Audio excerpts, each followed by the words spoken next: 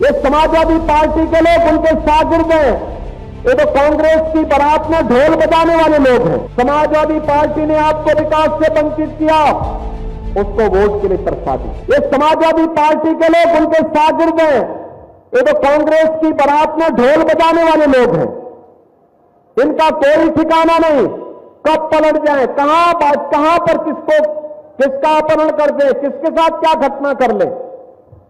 और ऐसे ही ये लोगों ने जब मिलकर के सरकार चला रहे थे, तब भी यही पाप ये लोग कर रहे थे। बहन और भाइयों, आपको सतर्क करने के लिए आ रहे हैं।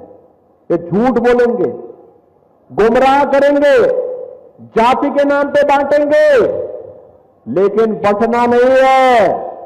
जो देश के अंदर बेहतर माहौल है, प्रदेश के अंदर विकास का माहौल है, सुरक्षा का माहौल है इसको बनाए रखने के लिए फिर से भाजपा आवश्यक है।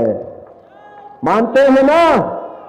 और मैं तो आपसे कहूँगा, समाजवादी पार्टी ने आपको विकास से वंचित किया, उसको वोट के लिए तरसा दीजिए। समाजवादी पार्टी ने आपके यहाँ के नौजवानों को नौकरी के लिए तरसाया था, आज उसको वोट के लिए तरसा दीजिए। इन्होंने पानी के लिए तरसाया था वोट के लिए तरसाइए। इनको किसी भी स्थिति में माफ़ करने की आवश्यकता नहीं। बहनों, भाइयों, चार चरणों के चुनाव है। पांचवां चरण कल है।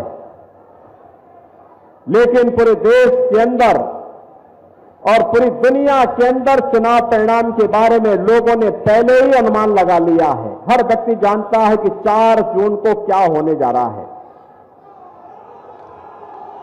4 जून के परिणाम के बारे में जनता जनार्दन को पहले से पता है।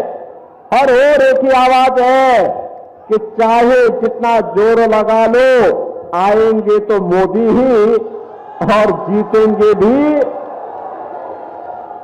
लोग बोलते हैं, अरे, आप ऐसे कैसे बोल दे रहे हैं? तो जनता कहती है कि जो राम को लाए हैं जो राम को लाए हैं। और इसीलिए नारा निकल पड़ा कि फिर एक बार, फिर एक बार, फिर एक बार, और अब की बार, अब की बार। 400 पार जब आप बोलते हैं तो समाजवादी पार्टी के लोगों को चक्कर आने लगते हैं। चक्कर इसलिए भी आता है क्योंकि इनके जो शागिर्द थे, प्रयागराज वाले और गाजीपुर के जो बड़े बड़े पहले इनके इर्द गिर्द इनके सिपा सालार थे ना, वे सब मिट्टी में मिल गए हैं, इसलिए इनको चक्कर आने लगता है कि अभी तो यह हाल है।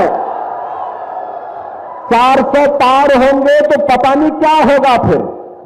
हमने कहा 400 पार इसलिए चाहिए जिससे पाक अधिकृत कश्मीर को भारत माता का हिस्सा बनाया जा सके।